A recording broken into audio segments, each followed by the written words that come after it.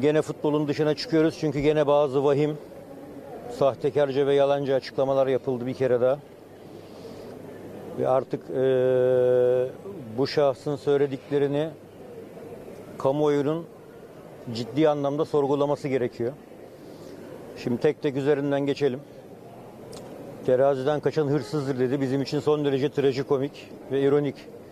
Çünkü biz zaten e, yönetime geldiğimizden beri, onların da yönetime geldiği zaman da bu zaman dilimi içerisinde kendilerini bizim kendi penceremizden gördüğümüz TFF ile alakalı problemler, MHK ile alakalı problemler, Türk futbolu alakalı haksızlıklar, 59 öncesi Fenerbahçe'nin yenilen hakları, bizim hak arayışımız, hak yürüyüşümüzle alakalı zaten dört kere teraziye çağırdık.